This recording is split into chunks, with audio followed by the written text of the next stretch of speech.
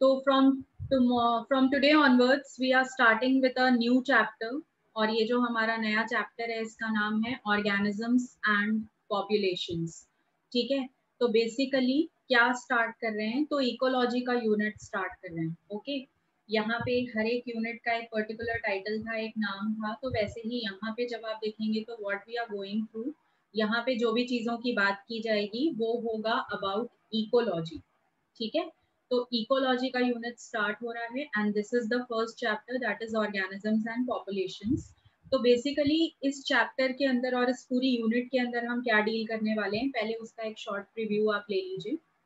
इस पूरे यूनिट के अंदर हम ये बातें करेंगे कि जितने भी लिविंग ऑर्गेनिजम्स होते हैं, उन सारे ऑर्गेनिजम्स का अपने सराउंडिंग के साथ, अपने एनवायरनमेंट के साथ एबायोटिक फैक्टर्स के साथ या नॉन लिविंग एंटाइटीज के साथ क्या रिलेशन होता है या क्या कनेक्शन होता है?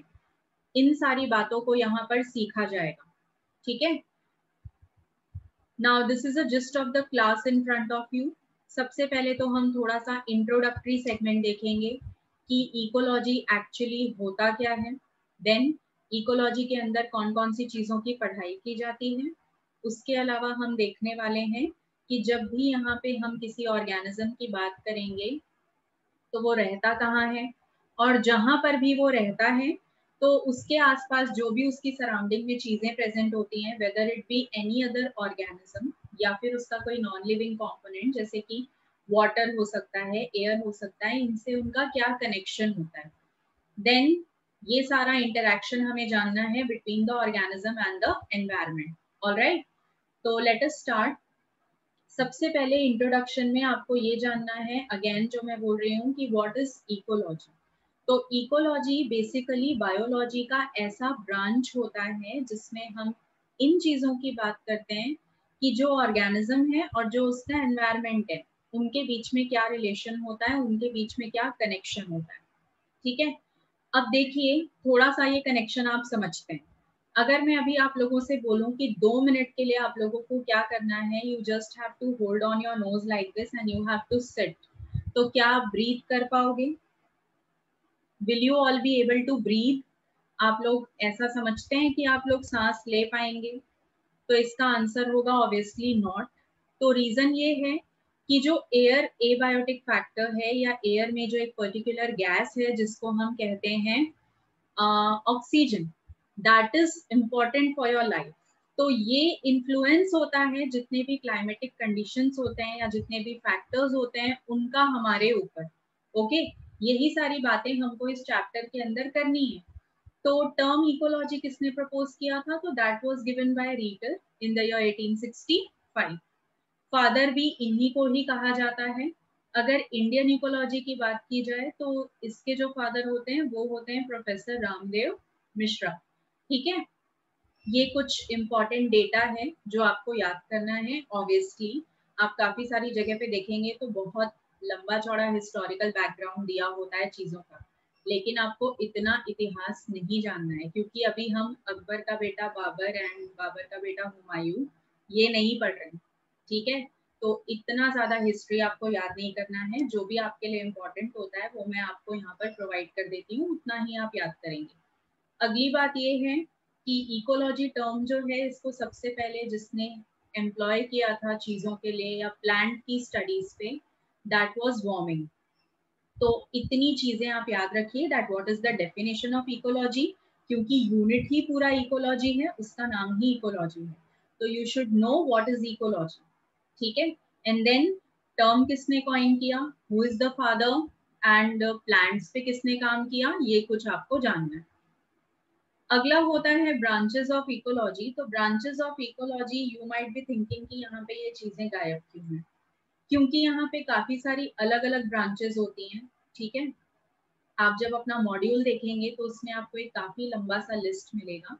तो इकोलॉजी में काफ़ी सारी ब्रांचेस जो होती हैं, मैं आपको एक दो का एग्ज़ाम्पल दे देती हूँ, ठीक है? कि क्या क्या हमें यहाँ पे डील करना है कौन कौन सी ब्रांचेस होंगी जिसको आपको याद रखना है। तो यहाँ पे बेसिकली एक ब्रांच होती है जिसको हम ऑटेकोलॉजी कहते हैं। देन फिर एक ब्रांच होती है जिसमें हम डीमोग्राफी कहते हैं, जिसमें पॉपुलेशन की पढ़ाई की जाती है। तो ये कुछ बेसिक सी ब्रांचेस हैं जो आपको याद रखनी है ब्रांचेस का नाम ओके अब again I am telling you कि ये जो ब्रांचेस हैं इकोलॉजी की, आपको सारे के सारे डेफिनेशन बाय हार्ट नहीं करने हैं, क्योंकि उनपे से क्वेश्चन काफ़ी कम बनता है। बट यू शुड नो कि इकोलॉजी ये तो बायो का ब्रांच है ही। लेकिन अगर कोई आपसे पूछता है कि इकोलॉजी के भी डिफरेंट ब्रांचेस बताइए तो आपको मालूम होना चाहिए एटलीस्ट दो से तीन। तो उसमें आप ऑटेकोलॉजी याद रख सकते हैं, आप वहाँ पर डीमोग्राफी याद रख सकते हैं। That is basically the study of population और भी काफ़ी सारी चीज़ें हैं जो आप वहाँ पे लर्न कर सकते हो, याद कर सकते हो। तो that is completely a theoretical part you have to read it from the module अगला है लेवल्स ऑफ़ ऑर्गेनाइजेशन कि कौन कौन से ऐसे लेवल्स होते हैं ऑर्गेनाइजेशन के जिसके थ्रू हम ये जान सकते हैं कि कौन सा ऑर्गेनिज्म हायर लेवल तक कैसे पहुँचा। ठीक है? ऑर्गेनाइजेशन का मतलब समझते हो ना? What is the meaning of organization you all tell me what is the technical meaning of organization अगर मैं आप लोगों को बताऊँ तो ऑर्गेनाइजेशन का मतलब होता है बेसिकली एक हायरकी ठीक है? हायरकी का मतलब होता है there is level to level chain एक पूरी चेन सेटअप होती है जिसमें कुछ ऐसे ऑर्गेनिजम्स होते हैं जो कि लोअर लेवल्स पे होंगे, कुछ ऐसे होते हैं जो कि हायर लेवल्स पे होते हैं, और जैसे जैसे आप लोअर टू हायर लेवल जाएँगे तो कॉम्प्लेक्सिटी बढ़ती जाती है। मैं आपको और भी रियलिस्टिक एग्ज़ाम्पल देती हूँ in order to understand the meaning of organization and hierarchy ठीक है? सपोज़ ये हमारा जो कोचिंग है, आप इसको ही एग्ज़ाम्पल ले लीजिए। आप लोग भी इसका एक हायरर्कल यूनिट है, ठीक है? तो स्टूडेंट्स हैं, अगर आपसे एक लेवल में ऊपर जाऊँ तो कौन होंगे? स्टूडेंट से ऊपर का जो लेवल है, वो आप किसको देंगे? आप लोगों का एक अपना लेवल हो गया, आप लोग का अपना एक स्टेप हो गया। What is one step further अगर उसके आगे जाएँगे आप तो जो हायरर्की का स्टेप होगा that will be the yes very good Lochan and Khushi that will be teachers जो आपके टीचर्स हैं, उनका स्टैंडर्ड होगा, उनका लेवल होगा. आफ्टर दैट अगर आप उसी हायरकल चेन में ऊपर जाएँगे तो हमसे ऊपर डायरेक्टर होंगे तो basically that is the pattern कि जो स्टूडेंट था, वो बेसिक लेवल था, फिर उससे हम कॉम्प्लेक्सिटी बढ़ाते गए तो we reach the director same चीज़ यहाँ पे होती है, ठीक है? यहाँ पे सबसे लोअर यूनिट तो सेल है बच्चों, ये बिल्कुल अपने दिमाग में बैठा लो, ठीक है? अब ये तो आपने कक्षा ग्यारहवीं में सीखा था, कक्षा ग्यारहवीं में आप क्या सीख के आ रहे हो? आप सीख के आ रहे हो कि भाई सेल होता है। ग्रुप ऑफ़ सिमिलर सेल्स होंगे तो टिश्यूज होंगे। टिश्यूज को अगर एक साथ मिला देंगे तो ऑर्गन बनेगा। ये सब कुछ आपको मालूम है, ठीक है?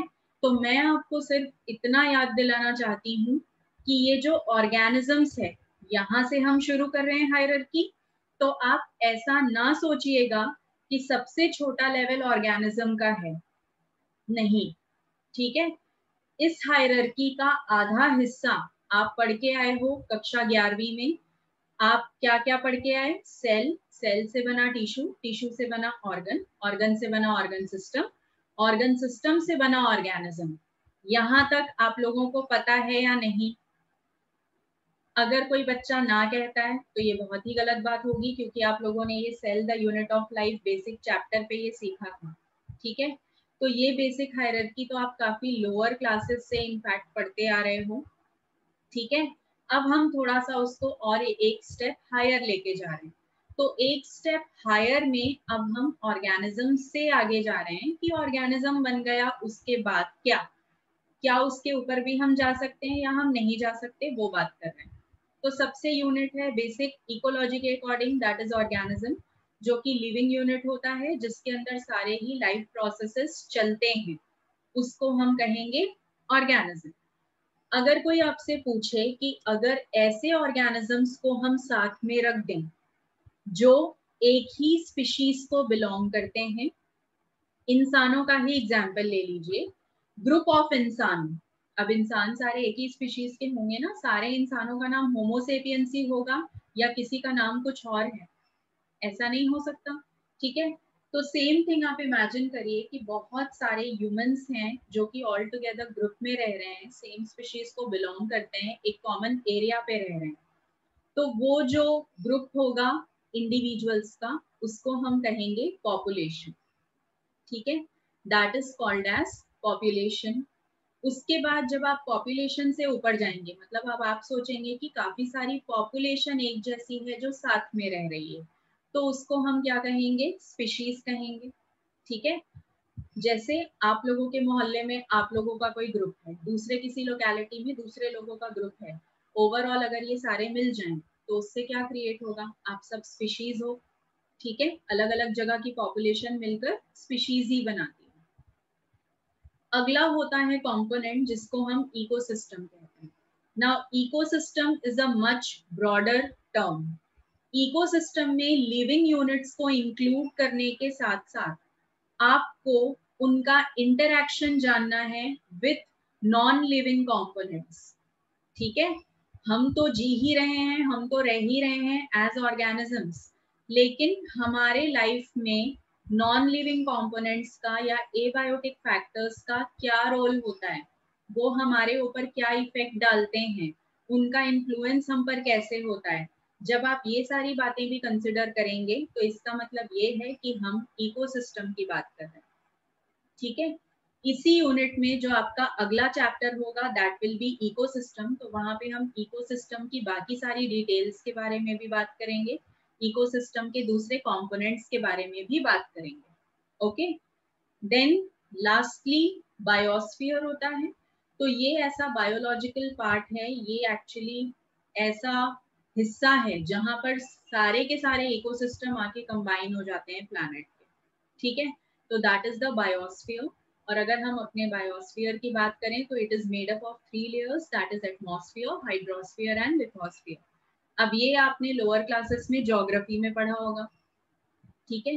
तो मुझे ये बताइए कि एटमॉस्फियर हाइड्रोस्फियर और लिथोस्फियर में डिफरेंस क्या है? What is the difference between atmosphere hydrosphere and lithosphere अगर कुछ नहीं तो आप मुझे केवल इतना बताइए कि हाइड्रोस्फियर जो है basically what is that hydrosphere कौन से लेयर को कहा जाता है? नाम में ही उसका मीनिंग है, आप लोगों को ज़्यादा सोचना ही नहीं है। You can see the word hydro इसका मतलब आप समझ गए हैं कि वाटर है वहाँ पे। ठीक है? तो water layer is called as hydrosphere very good तो थोड़ा सा ये छोटे छोटे से जो टर्म्स हैं, इनको आप रिकॉल करो, क्योंकि ये आपने ना छोटू छोटू वाली क्लासेस में सीखा हुआ है, जब आप लोग छोटे छोटे बच्चे थे। ठीक है? आता है आपको ये। नेक्स्ट थिंग इज़ कि हमें मीनिंग जानना है कि what exactly is environment what exactly is habitat micro habitat and the ecological line ठीक है? तो यहाँ पर जब भी एनवायरमेंट कहा जा रहा है तो basically that means your surrounding अब सराउंडिंग से आपका क्या मतलब है? सराउंडिंग से हमारा मतलब है all those non living climatic factors that are exhibiting any type of influence on us या वो हमको शो कर रहे हैं इन्फ्लुएंस वो सारे के सारे सराउंडिंग में इंक्लूड होंगे। जैसे मेरे सराउंडिंग की बात की जाए तो मेरे सराउंडिंग में फ़िलहाल या आप सभी के सराउंडिंग में फ़िलहाल क्या है? एयर प्रेजेंट है। ठीक है? तो ये जो एयर प्रेजेंट होती है you all know that that it is a mixture of gases different gases है वहाँ पे। अब ये जो एयर है, ये कम्प्लीटली प्योर है, इसकी गारंटी आप नहीं ले सकते। अगर आपके सराउंडिंग में थोड़ा सा मॉइस्चर है थोड़ी सी ह्यूमिडिटी है तो ये सब कुछ काउंट हो जाएगा आपके सराउंडिंग में, या आपके एनवायरमेंट में। ओके तो that is what is environment अगली चीज़ होती है हैबिटेट जिसको हम छोटी से सेंटेंस में ये बोल सकते हैं कि ये किसी भी ऑर्गेनिज्म का नेचुरल घर है या नेचुरल शेल्टर होता है। किसी भी ऑर्गेनिज्म का लोकेलिटी किसी भी ऑर्गेनिज्म का वो जगह जहाँ वो रहता है, ठीक है? उसे हम कहते हैं हैबिटेट ओके और जो भी हैबिटेट होता है, वहाँ पे एबायोटिक फैक्टर्स का बराबर इंफ्लुएंस पाया जाता है। अब यहाँ पर हैबिटेट है कॉमनली इसको आप एक ऐसा एरिया मान लीजिए जहाँ पर काफ़ी सारे ऑर्गेनिजम्स एक साथ रह सकते हैं। ठीक है? अब देखिए, जब हैबिटेट की बात हो रही है तो आप बिल्कुल भी ऐसा नहीं समझेंगे कि वहाँ पे सेम स्पीशीज के लोग ही पाए जाएँगे। ठीक है? सेम स्पीशीज से थोड़ा कंफ्यूज मत होइएगा। हैबिटेट बहुत ही ब्रॉड एरिया होता है। वहाँ पे और भी लोग रह सकते हैं। All right next is micro habitat micro habitat क्या होता है? हैबिटेट का ही एक पार्ट होता है, जिसकी कोई स्पेसिफिक प्रॉपर्टी होती है because of change in some of the factors ठीक है? जैसे मैं आपको फिर से अगेन हम थोड़ा सा ऐसा एग्ज़ाम्पल लेते हैं जिससे हम समझ सकें। यहीं से एग्ज़ाम्पल लेंगे फॉरेस्ट फ्लोर की बात होगी तो फॉरेस्ट फ्लोर की अगर हम बात कर रहे हैं तो क्या वो एक अलग हैबिटेट नहीं है? माइक्रो ऑर्गेनिजम्स के लिए। आपको क्या लगता है कि जंगल में सिर्फ़ शेर रहता है? जंगल में सिर्फ़ भेड़िए रहते हैं? या जंगल में सिर्फ़ दूसरे जानवर रहते हैं? क्या वो माइक्रो ऑर्गेनिजम्स का घर नहीं हो सकता है? बिल्कुल होगा, ठीक है? बिल्कुल होगा। वहाँ पे अगर आप देखेंगे तो वो बिल्कुल माइक्रो ऑर्गेनिजम्स का घर होगा। तो जितने भी माइक्रो ऑर्गेनिजम्स वहाँ रह रहे हैं, अधिकतर उनका जो जगह होता है रहने का दैट इज़ द फॉरेस्ट का फ्लोर जो ज़मीन होती है, जो सॉइल होता है तो वो अपने आप में एक हैबिटेट है। मतलब आप देखिए कि फॉरेस्ट एक बहुत ब्रॉड हैबिटेट है और उसका एक पार्ट है जो कि अलग से एक हैबिटेट है। तो उसको हम कौन सा हैबिटेट कहेंगे? माइक्रो हैबिटेट कहेंगे। अगला है इकोलॉजिकल नाइक ना व्हाट इज़ इकोलॉजिकल नाइक ये मैं आपको एकदम आसान भाषा में समझा देती हूँ, ठीक है? ऑडम के अकॉर्डिंग एक साइंटिस्ट थे जिनका नाम था ऑडम इन्होंने इकोलॉजिकल नाइक को बहुत अच्छे तरीके से डिफ्रेंशिएट किया है, ठीक है? तो ecological niche is basically called as profession of an organism ठीक है? किसी भी ऑर्गेनिज्म का जो प्रोफेशन होता है या उसका जो रोल होता है, उसको हम कहते हैं इकोलॉजिकल नाइक ठीक है? तो ecological niche is the profession and habitat जो है वो उसका घर है, वो उसका एड्रेस है। तो एड्रेस और प्रोफेशन में डिफरेंस थोड़ा समझ के रखिएगा। All right total interaction of an organism जो भी उसका एनवायरमेंट के साथ होता है whether it be positive interaction whether it be negative interaction या फिर उसमें आप क्या देख सकते हैं? आप उसमें देख सकते हैं कि ऑर्गेनिज्म का दूसरे किसी तरीके का रोल प्ले होगा तो वो इकोलॉजिकल नाइट कहलाता है। ठीक है? अब इसमें काफ़ी सारे फैक्टर्स होंगे, जैसा कि मैंने आपको पहले भी बोला टाइप ऑफ़ फ़ूड से गवर्न हो सकता है प्रिडेटर है, या फिर प्रिडेट करने वाला ऑर्गेनिज्म मतलब प्रिडेटर है, या फिर प्रे है, ये भी मैटर करेगा। शेल्टर ऑफ़ द ऑर्गेनिज्म भी एक फैक्टर है जो ये उसके फ़ंक्शन को इन्फ्लुएंस करेगा। तो ecological niche is basically the profession of an organism ठीक है? आगे क्या देखेंगे हम? कि ये जो इकोलॉजिकल नाइक है, इसका हैबिटेट के साथ रिलेशन क्या होता है? ठीक है? तो बहुत सारा रिलेशन आपको यहाँ देखने के लिए मिलेगा। से फॉर एग्ज़ाम्पल आउल जानते हैं? और आप लोग कैट भी जानते हो। ठीक है? This is one of the commonest example जो यहाँ पे यूज़ किया जाता है। तो देखो आउल होता है और जो कैट होता है। इन दोनों का जो खाना होता है मतलब इनका जो फ़ूड होता है दैट इज़ कॉमन ये किसको फ़ीड करते हैं? तो they feed on mice and shrews ठीक है? ये इनका फ़ूड होते हैं।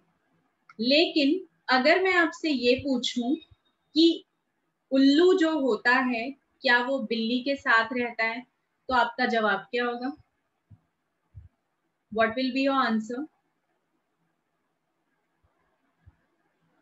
उल्लू जो होता है, क्या वो बिल्ली के साथ रहता है? क्या उन दोनों का हैबिटेट सेम है? Okay before that somebody just asked me, what are shrews? तो ये जो shrews होते हैं ना बेटा, ये चूहे के ही जैसे rodents हैं ओके okay? rodents होते हैं। चलिए, अब वापस आते हैं इस पार्ट पे कि आउल एंड कैट की मैं आपको बात बता रही थी। तो जो उल्लू होता है और जो बिल्ली होती है, हमें पता है कि ये दोनों साथ में नहीं रह सकते, ठीक है? अगर कैट का आप हैबिटेट देखेंगे तो वो कैसा होता है? टेरेस्ट्रियल होता है मतलब यूजुअली धरती पे रहती है। अब ये जो आउल होता है, ये तो ट्रीज पे रहता है, ऊपर पेड़ों पे बैठा रहता है। लेकिन अगर आप इन दोनों का रोल देखेंगे एनवायरमेंट में जो इनका रोल प्ले है, वो सेम है। इन दोनों का जो खाना है, वो सेम है। ठीक है? तो इसका मतलब ये दोनों के दोनों को मैं कार्निवोर्स कह सकती हूँ क्या? Can I call owl and the cat carnivore इनको कार्निवोर कहा जा सकता है, क्योंकि फ्लैश ईटिंग हो गए हैं ये, ठीक है? तो अगर मैंने इनको कार्निवोर कहा और सपोज़ आप इन दोनों को किसी फ़ूड चेन में प्लेस करते हो तो आप इन दोनों को सेम स्टैंडर्ड पे सेम लेवल पे रखोगे ना? सेम ट्रॉफिक लेवल पे रखोगे? तो क्योंकि इनका रोल प्ले बिल्कुल सेम है तो आप क्या बोल सकते हैं कि owl and cat belong to same ecological niche ठीक है? आउल एंड कैट जो होता है belong to same ecological niche इनका इकोलॉजिकल नाइक सेम है। ओके लेकिन, अगर इनके हैबिटेट की बात की जाए, अगर इनके रहने के शेल्टर की बात की जाए, इनके घर की बात की जाए तो क्या इन दोनों का एड्रेस सेम है? इन दोनों का एड्रेस सेम है क्या? इन दोनों का एड्रेस सेम नहीं है। क्योंकि उल्लू को अगर मैं ढूंढना चाहती हूँ तो मैं ज़मीन पे नहीं देखूँगी और अगर मैं बिल्ली देखना चाहती हूँ तो मैं पेड़ों पे नहीं देखूँगी। मतलब बिल्ली परमानेंटली पेड़ों पे नहीं रहती, ठीक है? ना ये कंडीशन है कि बिल्ली वहाँ पे कूद के पहुँच चुकी है या चढ़ के पहुँच चुकी है that is a different case लेकिन वो उसका हैबिटेट नहीं है, ठीक है? वो उसका नेचुरल हैबिटेट नहीं है। तो यहाँ पर सेम इकोलॉजिकल नाइक है इनका, इन दोनों का ही ऑर्गेनिजम्स का, लेकिन इनका जो हैबिटेट है, वो डिफरेंट है। ये एक एग्ज़ाम्पल हो गया। इसके अलावा अगर आप देखेंगे तो आपको पता चलेगा, कुछ ऐसे पंछियों के बारे में जो इनका ऑपोजिट केस दिखाते हैं। कुछ ऐसे बर्ड्स होते हैं, जो कि एक ही नेस्ट में रहते हैं, लेकिन उनका फीडिंग हैबिट अलग होता है, उनका वे ऑफ़ लिविंग अलग होता है, ठीक है? तो इसका मतलब दूसरी कंडीशन आ गई कि हैबिटेट सेम है, लेकिन इकोलॉजिकल नाइट डिफरेंट है। ठीक है? हैबिटेट सेम हो गया क्योंकि वो सारे एक ही घोंसले में रहते हैं। बट द थिंग इज़ कि उनका पूरा का पूरा जो लिविंग हैबिट है, वो डिफरेंट है। तो वो अलग अलग इकोलॉजिकल नाइक को बिलोंग करेंगे। All right right? तो ये कुछ ऐसे एग्जाम्पल्स आपको मिलेंगे, कुछ ऐसे कॉम्बिनेशन ऑफ़ ऑर्गेनिजम्स मिलेंगे। या तो वो एक केस दिखाएँगे कि उनका हैबिटेट सेम है इकोलॉजिकल नाइक डिफरेंट है, और अगर उनका इकोलॉजिकल नाइक सेम है तो उनका हैबिटेट डिफरेंट होगा। ठीक है? तो I have given you one example that is about the cat and owl okay अब यहाँ पे जितने भी ऐसे ऑर्गेनिजम्स होते हैं ना, जिनका इकोलॉजिकल नाइट सेम होता है, लेकिन उनका हैबिटेट जो है, वो डिफरेंट होता है। उनको हम इकोलॉजिकल इक्विवेलेंट्स कहते हैं। ठीक है? ऐसे ऑर्गेनिजम्स अगेन आई रिपीट जिनका इकोलॉजिकल नाइक सेम है, लेकिन उनका हैबिटेट डिफरेंट है they are termed as ecological equivalents okay तो अगर कोई आपसे पूछता है कि बताइए ये इकोलॉजिकल इक्विवेलेंट्स क्या है तो आप कहेंगे these are actually those organisms which belong to same ecological niche but they have different habitat ठीक है? तो इतनी बातें आपको यहाँ पे याद रखनी है जब आप पढ़ाई कर रहे हैं इकोलॉजिकल नाइट के बारे में। All right right? अब इसके जो नोट्स हैं, आप रिकॉर्डिंग से लेंगे। Next thing is Gause principle अब ये जो गॉस प्रिंसिपल है, ये बहुत ही आसान सी स्टेटमेंट है और बिल्कुल लॉजिकल है एंड ट्रू है। इसको हम प्रिंसिपल ऑफ़ कॉम्पिटिटिव एक्सक्लूजन भी कहते हैं। ये स्टेटमेंट कुछ ऐसा है कि जब भी कोई दो स्पीशीज एक ही इकोलॉजिकल नाइक में रहते हैं, ठीक है, किसी भी कम्युनिटी में तो उनके बीच में ना डायरेक्ट कंपटीशन स्टार्ट होता है। और आपको भी पता है कि whenever there is a competition तो there will be a winner and there will be a loser yes और नो ये तो बिल्कुल ज़ाहिर सी बात है कि अगर प्रतियोगिता चल रही है तो प्रतियोगिता जब चलेगी तो कोई जीतेगा और कोई हारेगा। ये फिक्स है। दोनों के दोनों तो नहीं जीत सकते, दोनों के दोनों तो हार नहीं सकते। ये पॉसिबिलिटी नहीं है। तो ये कह रहे हैं कि जब कोई भी दो अलग स्पीशीज जो होते हैं, वो एक ही इकोलॉजिकल नाइट में रहते हैं, ठीक है? तो उनके बीच में ना एक डायरेक्ट कंपटीशन स्टार्ट हो जाता है और इस कंपटीशन के चलते, इस प्रतियोगिता के चलते कोई एक स्पीशीज है जो कि जीत जाता है और दूसरा जो स्पीशीज है वो हार जाएगा या फिर उसको उस कम्युनिटी से, उस इकोलॉजिकल नाइट से एलिमिनेट कर दिया जाएगा। ठीक है? अगेन कैट और आउल पे ही चले जाते हैं। सपोज़ चूहा एक है और उसको खाने के लिए भूखे हैं कौन? आउल भी भूखा है और जो कैट है शी इज़ ऑल्सो स्टाविंग तो ये दोनों के दोनों को एक चूहा खाना है तो उन दोनों के बीच में झगड़ा होगा कि नहीं होगा? होगा ऑब्वियसली ठीक है? वहाँ पे उनके बीच में बिल्कुल वॉर क्रिएट हो जाएगी, दोनों को भूख लगी हुई है और खाना जो है वो एक ही चूहा है तो बिल्ली कहेगी कि मैं खा लूँगी, लेकिन जो उल्लू है वो कहेगा कि इसको मैं खा लू। तो ये दोनों स्पीशीज के बीच में कंपटीशन स्टार्ट होगा और इस कंपटीशन में, इस लड़ाई में one of the species is going to win ठीक है? अब कौन जीतता है और कौन सा स्पीशीज एलिमिनेट होता है, ये डिपेंड करता है कंडीशंस पे, ठीक है? ज़रूरी नहीं है कि आप हमेशा बिल्ली को विनर मानेंगे या आउल को विनर मानेंगे, वो कम्प्लीटली उनके कंडीशंस पे डिपेंड करेगा कि कौन किस तरह से कंपटीशन में पार्टिसिपेट कर रहा है ओके एग्ज़ाम्पल भी यहाँ आपको एक दिया गया है माइक्रो ऑर्गेनिज्म के बेसिस पे कि पैरामीशियम ऑरेलिया जो है ये एलिमिनेट कर देता है पैरामीशियम कॉडेटम को। ऑल देखिए दोनों ही पैरामीशियम है, ये तो और भी बेस्ट एग्ज़ाम्पल है, ठीक है?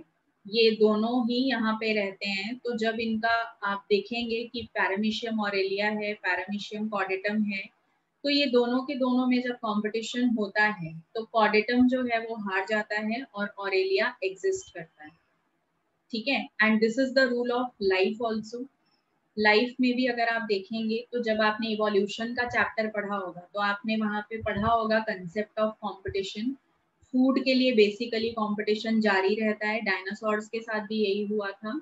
तो वहाँ पर कोई ना कोई ऐसा स्पीशीज होता है जो कि एलिमिनेट होता ही ओके तो अब till Gause principle any one of you is having any type of doubt तो पूछ लीजिए।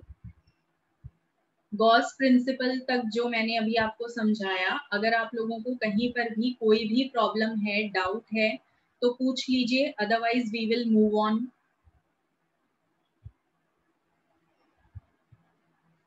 anyone is having any kind of doubt? तो फिर हमारा जो अगला टॉपिक है that will be the interaction between the organism और उसका एनवायरमेंट मतलब कि उसका सराउंडिंग तो जब भी हम ये इंटरक्शन देखेंगे तो इंटरक्शन में आपको पता है कि एबायोटिक फैक्टर्स तो आएँगे ही आएँगे, क्योंकि वही हमारे सराउंडिंग में प्रेजेंट होते हैं। ठीक है? तो यहाँ पे हैबिटेट की जब बात हो रही है, जब किसी भी ऑर्गेनिज्म के घर की बात हो रही है तो उसके घर में दोनों चीज़ें होती हैं। उसके घर में लिविंग ऑर्गेनिजम्स भी होते हैं, उसके घर में हवा, पानी और रोशनी भी होती है। मतलब कि एयर वाटर एंड लाइट तो एयर वाटर लाइट की अगर मैं बात कर रही हूँ तो ये एबायोटिक फैक्टर्स होते हैं। क्लियर यहाँ पे हम जो मेजर इंटरेक्शन जानेंगे ऑर्गेनिज्म का, वो उसके एबायोटिक फैक्टर के साथ ही जानेंगे।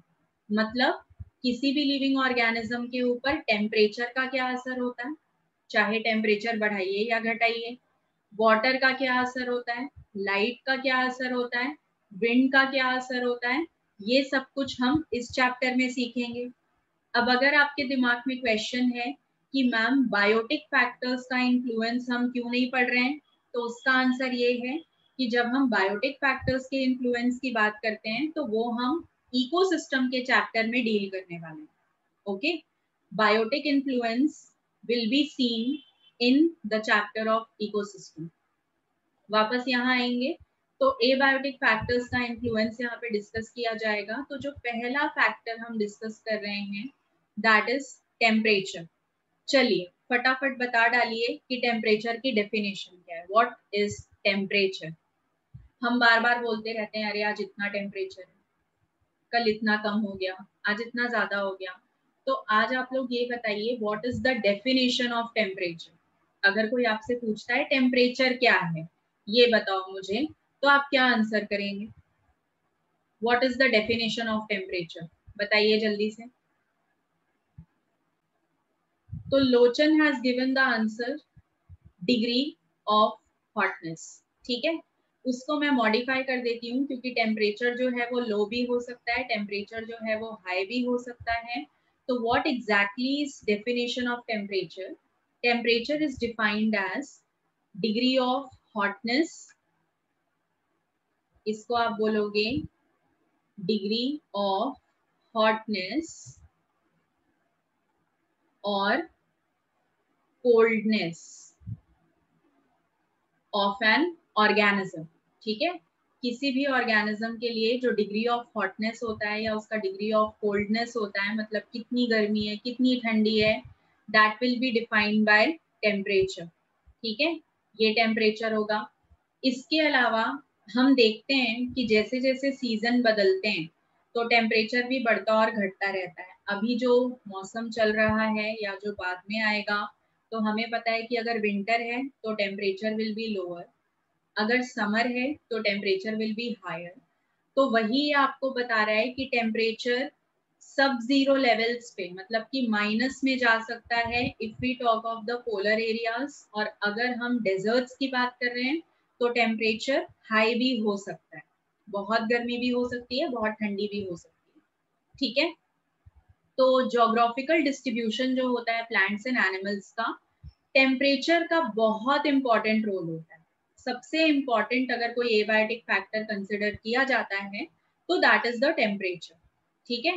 क्योंकि टेम्परेचर से ही किसी भी ऑर्गेनिज्म को पता चलता है कि मेरी बॉडी जो है, वो इस एनवायरमेंट के साथ होम्योस्टैसिस बना पाएगी या नहीं बना पाएगी? वो टेम्परेचर को अडेप्ट कर पाएगी या नहीं कर पाएगी? तो temperature is one of the very important factor इसके अलावा टेम्परेचर का डायरेक्ट इन्फ्लुएंस जो आप देखते हैं लिविंग ऑर्गेनिज्म के ऊपर, वो उनके एंजाइमेटिक सिस्टम पे होता है। आपको पता है कि लिविंग ऑर्गेनिजम्स के अंदर डिफरेंट रिएक्शंस को कैटेलाइज करती हैं एंजाइम्स तो ये जो एंजाइम्स होती हैं they have optimum temperature again कक्षा ग्यारहवीं पे वापस जाइए बायोमोलिक्यूल के चैप्टर पे। वहाँ आपने एंजाइम्स का पूरा डिटेल पढ़ा था। तो जब आपने डिटेल पढ़ा था तो आपने फैक्टर्स अफेक्टिंग एंजाइम एक्टिविटी भी सीखे होंगे। और जब आपने वो सीखा होगा तो वहाँ पे आपने ज़रूर बात की होगी कि हर एक एंजाइम के फ़ंक्शन करने के लिए ऑप्टिमम टेम्परेचर होता है। ठीक है? इन्फ्लुएंसेस कि अगर उस एंजाइम को आपने कंपेल किया कि उस टेम्परेचर से कम पे काम करो या उस टेम्परेचर से ज़्यादा पे काम करो तो उसकी एक्टिविटी जो है, वो घटती जाती है। या तो उसके द्वारा कैटेलाइज करने वाला जो रिएक्शन है, वो स्लो होता जाता है। ये इन्फ्लुएंस होता है। तो अगर एंजाइमेटिक सिस्टम में डायरेक्ट इन्वॉल्वमेंट है टेम्परेचर का तो इसका मतलब ये हुआ कि किसी भी ऑर्गेनिज्म के जितने भी फिजियोलॉजिकल फ़ंक्शंस होते हैं, उनके ऊपर भी डायरेक्ट इन्फ्लुएंस होता है किसका? टेम्परेचर का।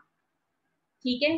इतनी बातें आप लोगों को टेम्परेचर के बारे में समझ में आई? गुड ठीक है? तो यहाँ पर जो भी टेम्परेचर के बारे में आप अभी तक जानते हो, वो यही है कि सीजनली वैरी करता है, हमेशा सेम नहीं रहता है। पोलर रीजन से डेजर्ट्स तक आएँगे तो काफ़ी ज़्यादा उसमें आपको वेरिएशन देखने को मिलेगा। अगली चीज़ ये होती है कि ये जो ऑर्गेनिजम्स हैं how they are going to react to the temperature change temperature low हो जाता है तो ऑर्गेनिज्म क्या करेगा? टेम्परेचर हाई हो जाता है तो ऑर्गेनिज्म क्या करेगा? टेम्परेचर बार बार बदल रहा है तो ऑर्गेनिज्म क्या करेगा? अगर टेम्परेचर बार बार नहीं बदल रहा है कुछ समय के लिए कांस्टेंट हो गया है, तब ऑर्गेनिज्म क्या करेगा? तो डिफरेंट डिफरेंट टेम्परेचर कंडीशंस पे ऑर्गेनिज्म के रिएक्ट करने का जो तरीका होता है, वो भी डिफरेंट होता है। उसके लिए जो अडेप्टेशन ऑर्गेनिज्म लेता है, वो भी डिफरेंट होती हैं। और इन्हीं टेम्परेचर रेंजेस के according different types of biomes भी बन गए हैं, जैसे कि ट्रॉपिकल सब ट्रॉपिकल टेम्परेट एंड आर्टिक ठीक है? तो अलग अलग टेम्परेचर के हिसाब से अलग अलग जगह और अलग अलग टेम्परेचर के हिसाब से अलग अलग ऑर्गेनिज्म के रिएक्ट करने का तरीका। ये हमारा अगला पार्ट है। इसके पहले कि हम ये सारी चीज़ें डिस्कस करें within five minutes rejoin करें।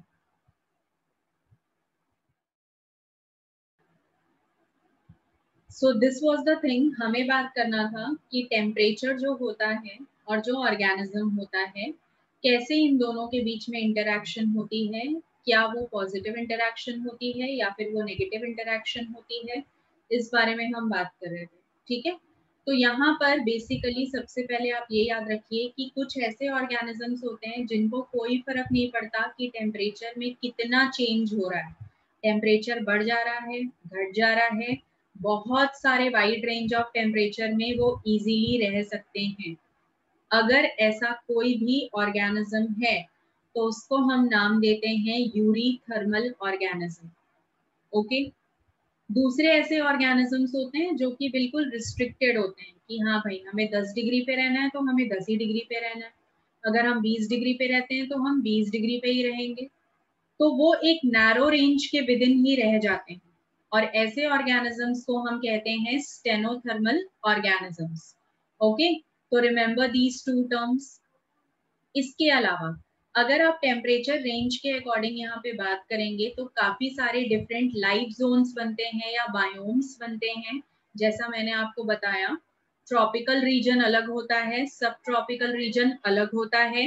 देन वी हैव टेम्परेट और लास्ट में हमारे पास होता है आर्टिक या एल्पाइन ओके तो यहाँ पे रहने वाले जो ऑर्गेनिजम्स होते हैं ना, उनका टेम्परेचर रेजिस्ट करने का तरीका भी अलग अलग होता है। जो ऑर्गेनिज्म ट्रॉपिकल रीजन में रहता है, अगर आप उसको आर्टिक रीजन पे ले जाएँगे तो उसका बिहेवियर बिल्कुल बदल जाएगा। हो सकता है कि टेम्परेचर चेंज होने की वजह से उसका मेटाबॉलिज्म स्लो डाउन हो जाए। हो सकता है कि टेम्परेचर ज़्यादा चेंज होने की वजह से उसकी डेथ भी हो जाए। ये भी पॉसिबिलिटी होती है ठीक है? तो इससे आप समझ ही रहे होंगे कि टेम्परेचर कितना इम्पोर्टेंट होता है किसी भी ऑर्गेनिज्म की लाइफ के लिए ठीक है? दैट इज़ द थिंग अब ये एक एनसीईआरटी uh, पे चीज़ दी गई है कि अकॉर्डिंग टू टेम्परेचर हमने बायोम्स को डिवाइड कर दिया है। तो ट्रॉपिकल फॉरेस्ट कुछ अलग हो गया टेम्परेट फॉरेस्ट अलग हो गया कॉनीफेरस अलग है जहाँ पे एवरग्रीन ट्रीज पाए जाते हैं।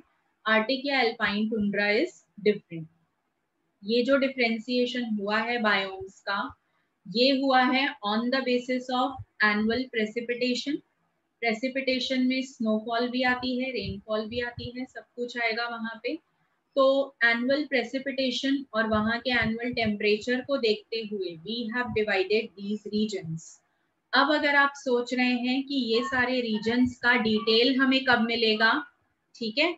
तो इसका जो डिटेल आपको मिलेगा, वो मिलेगा इकोसिस्टम वाले चैप्टर में। जब हम पढ़ेंगे about ecosystem there we will come to know कि ये सारे डिफरेंट डिफरेंट जो रीजन होते हैं ट्रॉपिकल रीजन है टेम्परेट रीजन है, या कॉनिफेरस रीजन है, इनका कैरेक्टरिस्टिक फीचर क्या होता है? कौन से ऐसे वेदर कंडीशंस होते हैं जो यहाँ पे पाए जाते हैं? ये आपको तब पता चलेगा। All right right? So basically, this graph is designed according to variations in the temperature and variations in the precipitation. ठीक है? ये जरा देख लीजिएगा। और ये जो रीजन है यहाँ पे ट्रॉपिकल फॉरेस्ट है टेम्परेट फॉरेस्ट है या कॉनिफेरस रीजन है, इनका डिटेल हम इकोसिस्टम में सीखने वाले हैं। अब आगे फिर से ऑर्गेनिज्म और टेम्परेचर के बीच के रिलेशन पे आ जाते हैं। इनकी रिश्तेदारी जो है, उसको कंटिन्यू करते हैं। यहाँ पे जितने भी ऐसे ऑर्गेनिजम्स आप जानते हो, जो कि एक्सट्रीम ऑफ़ टेम्परेचर को अवॉइड करेंगे, या फिर अलग अलग टेम्परेचर रेंजेस पे रहेंगे तो उन ऑर्गेनिजम्स की बात करते हैं। Suppose there are some of the organism जो कि हाई या लो टेम्परेचर पे इनएक्टिविटी या डेथ दिखाते हैं। ठीक है? ये तो मैंने आपको पहले भी बोला कि जब भी टेम्परेचर चेंजेस होंगे टेम्परेचर हाई होगा या लो होगा तो कोई भी ऑर्गेनिज्म जो है it is going to show किसी भी तरीके का रिज़ल्ट चाहे वो उसके ऊपर पॉजिटिव हुआ या नेगेटिव हुआ ओके तो यहाँ पर अगर डेथ या इनएक्टिविटी नोटिस की जा रही है तो ये पॉइकिलोथर्म्स में सबसे फास्ट होती है। What are poikilotherms I guess इस स्टेज पे आपको इसका मीनिंग बताने की ज़रूरत नहीं है। These are cold blooded organisms दूसरे होते हैं होम्योथर्म्स जिनको हम वार्म ब्लडेड ऑर्गेनिजम्स कहते हैं ओके तो बेसिकली कोल्ड ब्लडेड ऑर्गेनिजम्स जो होते हैं, उनके अंदर टेम्परेचर का जो इन्फ्लुएंस आप देखेंगे, वो काफ़ी रैपिड दिखाई देता है। और अगर आप होम्योथर्म्स को देखेंगे तो उनका तो कैरेक्टर ही यही होता है कि टेम्परेचर के साथ होम्योस्टैसिस जमा लें। और अगर उन्होंने होम्योस्टैसिस बैलेंस कर लिया तो उनके ऊपर इनएक्टिविटी या डेथ जो है, वो डिले हो जाती है या थोड़ा समय लेकर आती है। ठीक है? बट ऐसा नहीं है कि उनके ऊपर टेम्परेचर का कोई इफ़ेक्ट नहीं होगा। उनके ऊपर भी टेम्परेचर का बराबर इफ़ेक्ट होगा। ओके अगली बात ये है कि अगर आप गर्म जगह पे चले जाते हैं या आप ठंडी जगह पे चले जाते हैं तो वहाँ पे भी आपका अडेप्टेशन बदलता है अकॉर्डिंग टू द टेम्परेचर अभी मैं आपको एक्सप्लेन करूँगी कैसे। बिफोर दैट प्लांट्स के ऊपर भी थोड़ा सा इसका रोल देख लेते हैं। अगर टेम्परेचर बढ़ाया गया तो आप बताएँगे rate of transpiration is going to increase और डिक्रीज सिर्फ़ एक शब्द में आपको आंसर देना है। अगर टेम्परेचर बढ़ाया गया तो rate of transpiration is going to increase और डिक्रीज बताइए। What is going to happen transpiration का मीनिंग अगर आप भूल गए हैं तो मैं आपको रिमाइंड करवा देती हूँ। ट्रांसपिरेशन का मतलब होता है excess water loss through stomata decrease yes very good Lochan rate of transpiration is going to increase अरे भाई, गर्मी ज़्यादा हो गई है। गर्मी ज़्यादा हो गई है तो जो भी पानी का पार्टिकल ट्रांसपिरेशन के थ्रू बाहर आ रहा है, वो तो जल्दी जल्दी वेपराइज होगा। ठीक है? अगर वो पानी के मॉलिक्यूल्स जल्दी वेपराइज हो रहे हैं, इसका मतलब रेट ऑफ़ ट्रांसपीरेशन बढ़ चुका है। ठीक है? तो टेम्परेचर का और रेट ऑफ़ ट्रांसपीरेशन का डायरेक्टली प्रोपोर्शनल रिलेशन है। समझ में आई बातें? वहीं अगर आपने टेम्परेचर घटा दिया तो what is going to happen rate of transpiration is going to reduce ये रिलेशन होता है। तो प्लांट के ऊपर भी आपको टेम्परेचर का इफ़ेक्ट दिखता है। ठीक है? क्योंकि प्लांट भी एक लिविंग ऑर्गेनिज्म है। नेक्स्ट थिंग इज़ अगर कोई ऐसा ऑर्गेनिज्म है जो कि लो टेम्परेचर को रेजिस्ट नहीं कर पा रहा, या लो टेम्परेचर उसके लिए अनफेवरेबल है, उसको ठंडी से बड़ी प्रॉब्लम होती है तो वो सारे जानवर क्या करते हैं? वो एक टेम्पररी टाइम पीरियड के लिए सोने चले जाते हैं। ठीक है? उनको लो टेम्परेचर से प्रॉब्लम है तो low temperature is usually during winter season तो during winter season what they are going to do कि वो सो जाएँगे, छुप जाएँगे, ताकि वो लो टेम्परेचर को रेजिस्ट कर सके। और इसको हम कहते हैं कंसेप्ट ऑफ़ विंटर स्लीप या फिर it is called as hibernation ठीक है? तो ऐसे जो भी जानवर होते हैं ना, जिनको ठंडी से प्रॉब्लम होती है ये क्या करते हैं? थोड़ी सी गर्म जगह ढूंढते हैं मतलब जहाँ का टेम्परेचर थोड़ा ज़्यादा हो और वहाँ पे जाके टेम्पररी टाइम पीरियड के लिए हाइड करते हैं। एक्टिविटी शो नहीं करते। Example frog and polar bear वैसे ही कुछ ऐसे ऑर्गेनिज्म होते हैं, कुछ ऐसे जानवर होते हैं जिनको गर्मी से दिक्कत होती है। तो अगर उनको गर्मी से प्रॉब्लम हो रही है, अगर वो हाई टेम्परेचर को रेजिस्ट नहीं कर पा रहे हैं तो वो क्या करते हैं? बचने के लिए समर स्लीप में चले जाते हैं या फिर जिसको हम कहते हैं एस्टिवेशन अब ये बहुत ही बेसिक बेसिक सी चीज़ें हैं जो आपने काफ़ी बचपने वाली क्लासेस में सीखी। ठीक है? इंसेक्ट्स और स्पाइडर्स यूजुअली ऐसा करते हैं। अब वहीं पे अगर आप प्लांट्स में देखेंगे, आपको पता है कि प्लांट तो अपनी जगह से हिल नहीं सकता। चलिए, जानवरों के पास तो प्रॉफिट है कि हम चले गए गर्म जगह पे। या हम चले गए ठंडी जगह पे। प्लांट तो ऐसा नहीं कर सकता ट्रीज तो ऐसा नहीं कर सकते क्रॉप्स तो ऐसा नहीं कर सकते। तो अगर वो ऐसा नहीं कर सकते, वो एक जगह पे फिक्स्ड है तो उनको तो सारी टेम्परेचर कंडीशंस झेलनी पड़ेंगी। अब क्वेश्चन आता है कि कैसे झेला जाए। तो उसके लिए उनके पास कंसेप्ट होता है कोल्ड हार्डीनेस का या हीट हार्डीनेस का। कोल्ड हार्डीनेस और हीट हार्डीनेस क्या होता है, मैं आपको बता दूँ। जब भी लो टेम्परेचर को कोई प्लांट रेजिस्ट करता है तो दैट इज़ कोल्ड हार्डीनेस अगर वो हाई टेम्परेचर को रेजिस्ट कर रहा है तो उसको हम हीट हार्डीनेस कहते हैं। ठीक है? एग्ज़ाम्पल ले लेते हैं। ऑपुंशिया जानते हैं। जीरोफाइट्स जानते हैं, जो कि डेजर्ट प्लांट्स होते हैं। यस और नो ओके अब जो डेजर्ट प्लांट्स होते हैं, अब देखिए वो हाई टेम्परेचर को रेजिस्ट तो नहीं करेंगे बट हाँ उसको झेलने के लिए उनके पास अडेप्टेशन ज़रूर होता है। जैसे कि उनका जो ट्रांसपीरेशन रेट होता है, उसको रोक दिया जाता है, क्योंकि जितने भी रेगिस्तान के पौधे होते हैं, उनके अंदर स्टोमेटा दिन में बंद होता है क्लोज्ड होता है। लास्ट ईयर फोटोसिंथेसिस पढ़ा था हाँ okay dark reaction light reaction पढ़ा था, बिल्कुल पढ़ा था। वहाँ पे आपने पढ़ा होगा about CAM cycle C A M CAM cycle crassulacean acid metabolism ठीक है? वहाँ पे आपने पढ़ा होगा सी टू साइकिल के बारे में। वहाँ पे आपने पढ़ा होगा अबाउट फ़ोटो रेस्पिरेशन तो जो जीरोफिटिक प्लांट्स होते हैं ना, उनका एक प्रॉब्लम है कि उनका जो इंस्ट्रोमेटा है, वो दिन में क्लोज रहता है और रात में खुलता है। तो ये भी एक अडेप्टिव फीचर है टेम्परेचर को रेजिस्ट करने के लिए, ठीक है? और वाटर लॉस को रोकने के लिए भी। अब हम इफ़ेक्ट ऑफ़ टेम्परेचर देखेंगे। अभी तक हमने बातें की कि कैसे कैसे टेम्परेचर जो है, वो इन्फ्लुएंस कर रहा है। अब ब्रॉड लेवल पे देखते हैं कि क्या क्या ऐसी चीज़ें हो सकती हैं जिन पे इफ़ेक्ट पड़ेगा। और उसको आपको बताना भी है कि कैसे इफ़ेक्ट पड़ेगा। तो सबसे पहली जो चीज़ यहाँ पर ली जा रही है दैट विल बी रिप्रोडक्शन अब मुझे आप लोग बताइए कि किसी भी ऑर्गेनिज्म के रिप्रोडक्शन के प्रोसेस में कैसे टेम्परेचर का इन्फ्लुएंस हो सकता है? आप लोगों ने इसी साल रिप्रोडक्शन का यूनिट सीखा हुआ है, ठीक है? तो जब आपने रिप्रोडक्शन की यूनिट पढ़ी होगी तो आपने ज़रूर एक एग्ज़ाम्पल पढ़ा होगा टेम्परेचर इन्फ्लुएंस के बारे में, ठीक है? टेम्परेचर इन्फ्लुएंस के बारे में आपने ज़रूर एग्ज़ाम्पल पढ़ा होगा। कौन सा वो एग्ज़ाम्पल था? जल्दी से प्रोसेस का नाम बताइए। टर्टल नहीं नहीं नहीं, मैं आपको हिंट देती हूँ। आपको ह्यूमन रिप्रोडक्शन याद करना है। ह्यूमन रिप्रोडक्शन याद करिए और मुझे बताइए कि वहाँ पे टेम्परेचर से रिलेटेड आपने क्या पढ़ा था। What was the thing that was related to temperature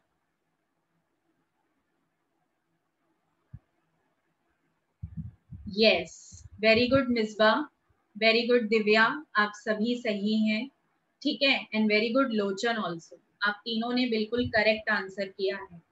आपने सीखा था कि जो टेस्टीज होते हैं which are the male producing part male gamete producing part in humans वो डिसेंड होती हैं स्प्रोटल सैक में। Okay and this is because कि उनको स्पर्मेटोजेनेसिस करना है और स्पर्मेटोजेनेसिस लो टेम्परेचर पे पॉसिबल है। पढ़ा था ना बच्चा लोग? याद है?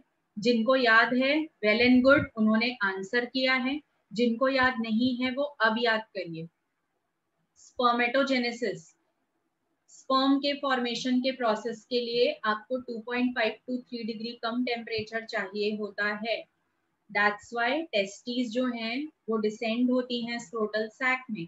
तो अब आप देखिए कि रिप्रोडक्शन पे टेम्परेचर का इफ़ेक्ट कैसे पड़ता है।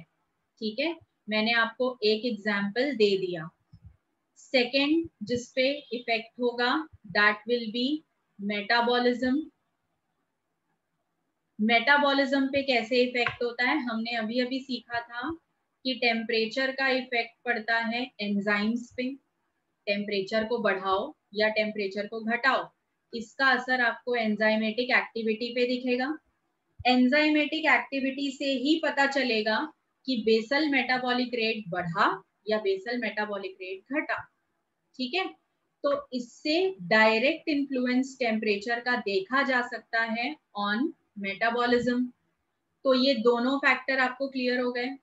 फैक्टर सॉरी ये दोनों इफ़ेक्ट आपको क्लियर हो गया। कि रिप्रोडक्शन और मेटाबॉलिज्म पे कैसे असर पड़ता है टेम्परेचर का? थर्ड जो हम लेंगे, वो हम लेंगे पिगमेंटेशन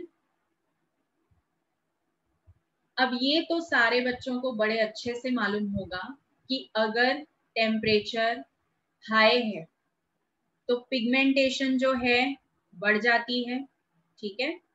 अगर टेम्परेचर लो है तो पिगमेंटेशन जो है, वो घट जाती है। एग्ज़ाम्पल लेते हैं। सपोज़ हम सब अपने अपने पिगमेंटेशन को जानते हैं और हम अपनी अपनी जगह के टेम्परेचर को भी जानते हैं ओके तो मान लीजिए कि बहुत गर्म जगह पे रहने वाले जो ऑर्गेनिजम्स होते हैं से सपोज़ आप साउथ में चले जाएँगे तो वहाँ के लोग आपको हाईली पिगमेंटेड दिखेंगे। उनके स्किन में मिलानिन पिगमेंटेशन काफ़ी ज़्यादा होता है या कम होता है। ठीक है? अब देखो मिलानिन में थोड़ा सा उल्टा रहता है। जिनके अंदर मिलानिन कम रहता है, वो फेयर होते हैं। जिनके अंदर मिलानिन ज़्यादा होता है, वो कैसे होंगे? डार्क होंगे। ठीक है? चलिए, मैं आपको ये हाई लो वाला कंडीशन ही हटा देती हूँ। मैं आपको सीधा ये समझाती हूँ कि इंसानों पे क्या इफ़ेक्ट हो रहा है। ठीक है? डायरेक्टली हम उस चीज़ पे आते हैं। Let us take example of melanin तो यहाँ पे ह्यूमंस का एग्ज़ाम्पल लीजिए। तो ह्यूमंस के एग्ज़ाम्पल में you all very well know India की ही बात कर रहे हैं हम ओके okay? तो जब इंडिया की बात करेंगे तो हमको क्या समझ में आएगा यहाँ पे? कि साउथ में रहने वाले जो लोग होते हैं, वहाँ पे साउथ की बात हो रही है ओके वहाँ पे आपको पता है कि टेम्परेचर जो होता है, वो कैसा होता है? हाई रहता है। तो वहाँ के लोगों का जो स्किन शेड आप देखेंगे, वो डार्क होगा। वहीं अगर आप नॉर्थ में चले जाएँ तो नॉर्थ में आपको पता है कि जो टेम्परेचर है वो लो रहता है क्योंकि काफ़ी सारी जो जगह है वो हिली है और जब आप हायर ऑल्टीट्यूड पे जाते हैं तो टेम्परेचर घट जाता है। तो वहाँ के लोगों का जो पिगमेंटेशन आप देखेंगे या उनका स्किन का जो शेड आप देखेंगे दैट विल बी फेयर ठीक है? तो ये एक अडेप्टिव फीचर है या टेम्परेचर का इन्फ्लुएंस है। अब ये परमानेंट के अलावा टेम्पररी भी हो सकता है। टेम्पररी कैसे होगा? ठीक है? कोई काला व्यक्ति चला जाए कश्मीर घूमने के लिए। ओके? तो कुछ समय के लिए कश्मीर का जो एनवायरमेंट है, वो उसके पिगमेंटेशन को इन्फ्लुएंस करेगा। अब क्योंकि टेम्परेचर घट चुका है तो उसकी वजह से उसकी स्किन कुछ शेड्स फेरर हो सकती है। थोड़ी सी, ठीक है? लेकिन जैसे ही वो अपने नेचुरल हैबिटेट में वापस आएगा मतलब जहाँ से वो एक्चुअली बिलोंग करता था, जहाँ का वो नेटिव है तो वापस से उसका जो स्किन शेड है that will come back to normal जैसा वो पहले था। ठीक है? ये एग्ज़ाम्पल आप लोगों को समझ में आया या नहीं आया कि टेम्पररी चेंज कैसे होगा और परमानेंट चेंज कैसे होगा? जल्दी से बताइए। Any doubt in understanding pigmentation let me know कि आपको ये समझ में आया या नहीं। फाइन चलिए, फिर आगे देखते हैं कि और कौन सी चीज़ पे इफ़ेक्ट होता है यहाँ पे। तो और कौन सी चीज़ पे इफ़ेक्ट होगा? लेट अस गो अहेड अगला जो होता है that is on sex ratio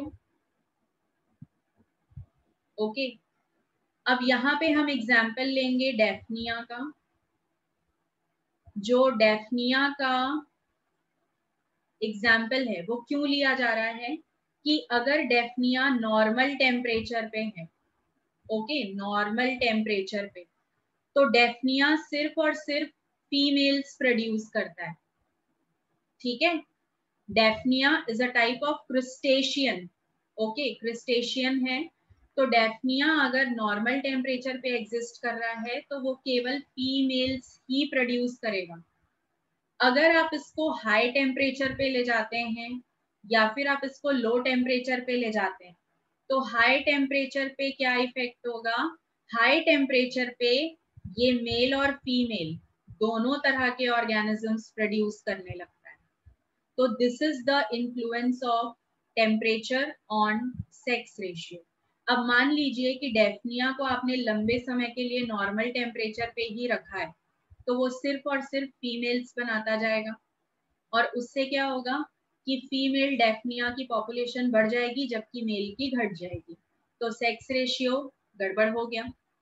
okay अगर आप हाई टेम्परेचर पे ले गए तो मेल और फीमेल इक्वल अमाउंट में प्रोड्यूस होंगे। तो उससे थोड़ा सा सेक्स रेशियो जो है, वो इक्विवेलेंसी पे आएगा। तो ये इफ़ेक्ट होता है। इसके अलावा अगर आप देखेंगे तो और कौन सी चीज़ पे टेम्परेचर का असर हो सकता है, बताइए। आप लोगों को अब ये सोचना है और कौन सी ऐसी चीज़ है जिसपे टेम्परेचर असर कर सकता है? टेम्परेचर जिसको इन्फ्लुएंस करता है, ऐसी कौन सी लाइफ एक्टिविटी होगी? बी फास्ट और कौन सी लाइफ एक्टिविटी हो सकती है? फाइन चलिए, मैं ये बता देती हूँ। एक होती है ग्रोथ ठीक है? किसी भी ऑर्गेनिज्म की जो ग्रोथ होती है, उस पर असर पड़ता है। अगर टेम्परेचर बढ़ेगा तो भी ग्रोथ पे असर होगा। अगर टेम्परेचर घटेगा तो भी ग्रोथ पे असर होगा। अब ग्रोथ पे असर कैसा हो रहा है? वो डिपेंड करता है ऑर्गेनिज्म पे, जिसकी आप बात कर रहे हैं। क्योंकि कुछ ऑर्गेनिज्म में हाई टेम्परेचर पे ग्रोथ बढ़ती है और कुछ ऑर्गेनिजम्स में लो टेम्परेचर में ग्रोथ बढ़ती है। ठीक है? तो यहाँ पे कोई प्रॉपर टर्म नहीं है जो आप याद रखेंगे। That depends on the organism कि कैसा इन्फ्लुएंस होता है। तो these are some of the effects of temperature जो कि आप देख सकते हो clearly now let us come कुछ इंपॉर्टेंट रूल्स पे, जो कि टेम्परेचर इफ़ेक्ट के बेसिस पे बनाए गए। जैसे एक बर्गमैन रूल है। इन्होंने कहा था कि जितने भी वार्म ब्लडेड एनिमल्स होते हैं, जैसे कि बर्ड्स एंड मैमल्स इनका बॉडी साइज़ जो होता है, वो बड़ा हो जाता है कोल्ड क्लाइमेट में। ठीक है? ये इनका बताया हुआ एक रूल है। एलेंस रूल क्या बोलता है? कि जितनी भी एक्सट्रीमिटीज होती हैं वार्म ब्लडेड एनिमल्स की, ठीक है? वो सारी एक्सट्रीमिटीज जो हैं, वो कोल्डर एरियाज़ में स्मॉलर हो जाती हैं as compare to warmer area ठीक है? ये याद रखनी है। रेंच का जो रूल था, वो क्या था? कि अगर आप कोल्ड क्लाइमेट में चले गए हो तो जो बर्ड्स होते हैं, उनके जो विंग्स होते हैं, वो नैरो हो जाएँगे। उनकी उड़ने की क्षमता कम रहेगी। ठीक है? ये होता है एक रूल जॉर्डन का रूल क्या बोलता है कि अगर टेम्परेचर घटाया गया तो कुछ ऐसी मछलियाँ होती हैं, जिनका साइज़ बड़ा हो जाता है। ठीक है? तो these are some of the नियम मतलब की रूल जो कि अलग अलग लोगों ने बताया। अकॉर्डिंग टू देयर स्टडीज़ उन्होंने जो भी अपनी पढ़ाई की, उन्होंने जिन ऑर्गेनिजम्स पे स्टडीज़ की, उसके अकॉर्डिंग ये रूल है। एक्सट्रीमिटीज का मतलब होता है Lochan extreme conditions extreme condition का मतलब है जो आप झेल नहीं सकते। हार्श कंडीशंस ठीक है? अब ये जो है, ये हमारा नेक्स्ट टॉपिक है, जिसको हम कहते हैं थर्मो पीरियोडिसिटी तो यहाँ पे आपको थर्मोपीरियोडिसिटी का पहले तो मतलब बता दूँ।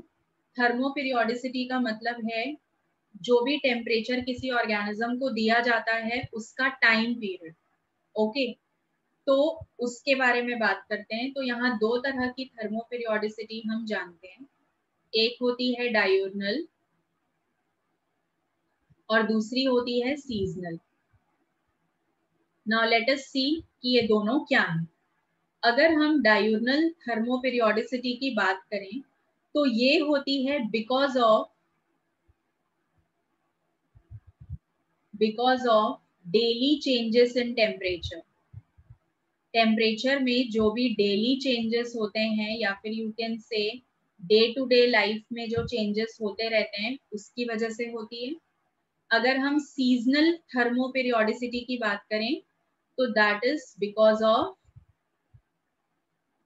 seasonal temperature changes ठीक है? जब भी सीजनली टेम्परेचर में चेंजेस आएँगे तो उससे होगी सीजनल थर्मो पीरियोडिसिटी अब दोनों का असर अलग अलग होता है। अगर आप डायूर्नल देखेंगे तो ये डे टू डे लाइफ से रिलेटेड है। मतलब रोज हम कितने टेम्परेचर वेरिएशंस को देख रहे हैं, उनका इन्फ्लुएंस हमारे पे क्या हो रहा है। ओके? तो आप ये कह सकते हो कि ये जो डायूनल थर्मोपीरियोडिसिटी है, वो शॉर्ट टर्म के लिए एग्जिस्ट करेगी। सीजनल जो होती है that is according to the season तो अगर आप सीज़न को काउंट करेंगे तो उतने टाइम तक वेरिएशन आपको देखने मिलेगा। तो अब इसका इफ़ेक्ट क्या होता है, वो देखिए। डे टू डे लाइफ में टेम्परेचर का इफ़ेक्ट आप जानते हो। से सपोज़ टेम्परेचर कभी बहुत ज़्यादा है तो अगर हम ह्यूमंस का एग्ज़ाम्पल लें तो ऑर्गेनिज्म स्वेटिंग शो कर सकता है। अगर टेम्परेचर कम है तो आपको ठंड महसूस हो सकती है। डे टू डे टेम्परेचर घटता बढ़ता रहता ही। अगर आप सीजनल एक्टिविटीज़ की बात करें या सीजनल थर्मोपीरियोडिसिटी देखें तो वहाँ क्या होता है? इसका इफ़ेक्ट आपको यूजुअली दिखेगा किस पे? जो सीजनल प्लांट्स होते हैं या जो सीजनल एनिमल्स होंगे अब देखो मैं बताती हूँ कैसे। आपने जब रिप्रोडक्शन में फ़र्स्ट uh, चैप्टर पढ़ा होगा उस यूनिट का that was reproduction in organism तो आपने वहाँ सीखा होगा अबाउट सीजनल ब्रीडर्स यस और नो सीजनल ब्रीडर्स की बात आपने सुनी थी? सीजनल ब्रीडर और कंटिन्यूस ब्रीडर दो तरह के ऑर्गेनिजम्स के बारे में वहाँ आपने सीखा होगा। ठीक है? तो वैसा ही कुछ एग्ज़ाम्पल या वेरिएशन यहाँ आपको जज करना है। अब देखो, अगर प्लांट्स के बेसिस में बात करूँ तो आप जानते हैं कि कुछ फ्रूट्स होते हैं जो कि सीजनल होते हैं, जैसे मैंगो मैंगो विंटर में आता है क्या? मैंगो आता है समर में। तो इसका मतलब ये है कि मैंगो के अंदर कौन सा कंसेप्ट एक्टिव है? सीजनल थर्मोपीरियोडिसिटी का। ठीक है? वहीं अगर आप गार्डन पी देखेंगे मतलब कि पाइसम सटाइवम या मटर तो वो आपको ठंड में मिलती है। तो उसके पौधे में आपको दिख सकती है सीजनल थर्मोपीरियोडिसिटी जो कि विंटर के लिए अडेप्टेड है। वैसा ही कुछ केस जानवरों में होता है कि उनके लिए पर्टिकुलर कोई टाइम पीरियड होता है जिसमें वो रिप्रोडक्शन के लिए रेडी होते हैं और कुछ ऐसा टाइम पीरियड होता है जो उनकी अनफेवरेबल कंडीशन है। उन्हीं को हम सीजनल ब्रीडर्स कहते हैं। ठीक है? तो मैंने आपको एनिमल्स एंड प्लांट्स दोनों के रिस्पेक्ट में थर्मोपीरियोडिसिटी बता दी है। फाइन तो यहाँ पे जो भी आज हमने सीखा अबाउट टेम्परेचर इतना आपको यहाँ पे याद रखना है कि जब भी टेम्परेचर की बात हो रही है तो ऑर्गेनिज्म के साथ उसका इंटरेक्शन कैसे होता है? ऑर्गेनिज्म के साथ उसका जो इंटरेक्शन है, that can be in a positive sense or it can be in a negative sense. दोनों पॉसिबिलिटीज होती हैं। तो you all have to remember this much. यहाँ तक आप में से किसी को कोई भी प्रॉब्लम है yes Lochan humans are continuous breeders.